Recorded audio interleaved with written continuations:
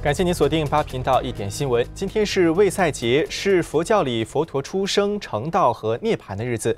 光明山普觉禅寺从昨天下午开始举行了知恩报恩为主题的三步一拜仪式。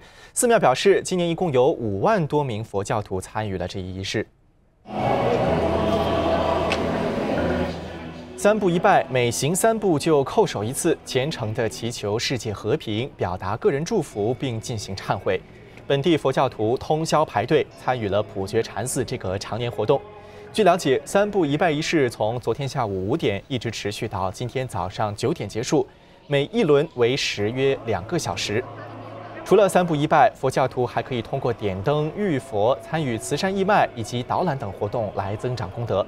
为了确保活动顺利进行，普觉禅寺动员了上百名义工维持秩序。